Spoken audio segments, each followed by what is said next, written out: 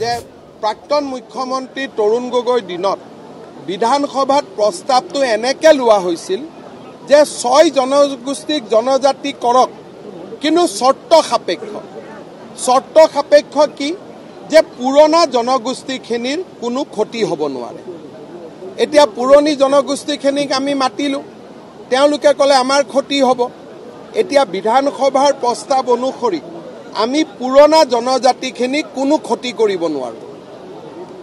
এতিয়া এই অদ্ভুত সিদ্ধান্ত এটা আমি কেনেকৈ ৰূপায়ণ কৰিম? গতিকে এপ্ৰিললৈকে আমি প্ৰচেষ্টা চলাম। এপ্ৰিললৈকে যদি আমি দুইটা জেগাত সমন্বয় স্থাপন কৰিব নোৱাৰোঁ তেতিয়াহ'লে আমি বিধানসভাত এই প্ৰস্তাৱটো আকৌ এবাৰ লৈ গৈ কংগ্ৰেছ দলকে সুধিব লাগিব যে আপোনালোকে এই প্ৰস্তাৱটো কেনেধৰণে লৈছিল আৰু এইটো কেনেকৈ কৰিব পাৰি আপোনালোকে আমাক পৰামৰ্শ দিয়ক। কাৰণ তেওঁলোকে ক'লে ছয় জনগোষ্ঠীকো জনজাতিকৰণ কৰক আৰু পুৰণা জনজাতিক কোনো ক্ষতি হ'ব নোৱাৰে। এনে এনেকুৱা প্ৰস্তাৱটো কোনেওতো বাস্তৱত কৰিব নোৱাৰে। তথাপিতো আলোচনা কৰি কৰি আমি কিছু ঐক্যমতত আহিছোঁ।